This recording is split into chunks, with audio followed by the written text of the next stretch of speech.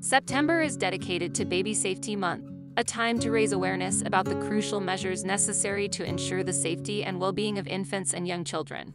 This observance emphasizes the significance of child-proofing homes, proper installation of car seats, safe sleep practices, and the avoidance of potential hazards.